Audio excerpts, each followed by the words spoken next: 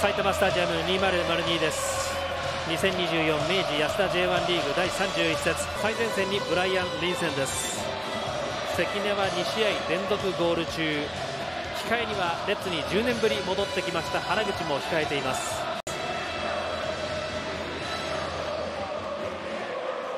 サブのメンバーはご覧の通りです。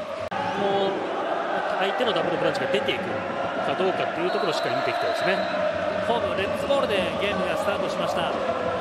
左から右へと浦和レッズアウェー東京。右から左へと攻めていく。本当に FC 東京はやっぱり後ろのところの怪我人が気になるところですよね、えー、う。まく落としてきました。折り返し触れないがプレー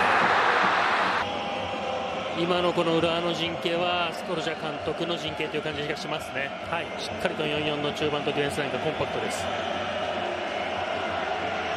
左足で俵積みだ。ブロック逆サイド中川つながって狭いところ打ちに行く、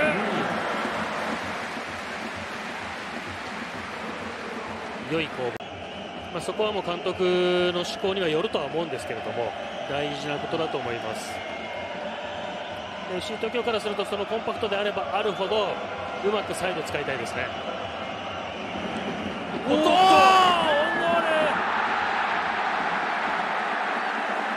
大きく蹴り出そうとしました井上。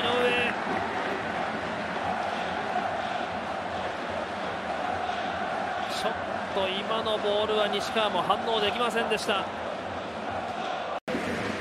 右足で荒木が入れます。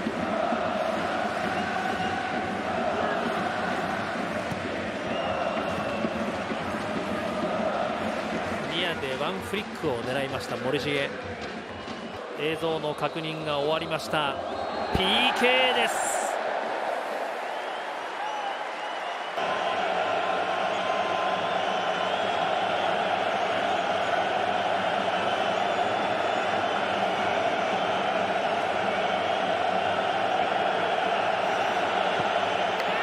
完全に逆をつきました。0対2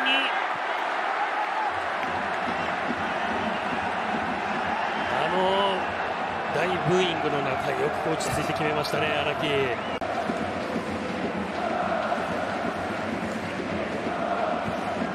曲げてきます。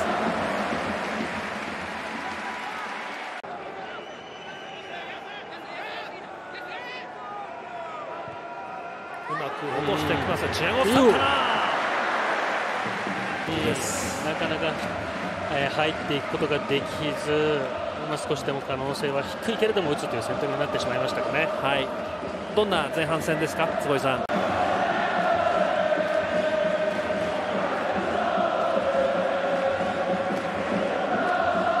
阿部 FC 東京ボールで後半の45分がスタートしました。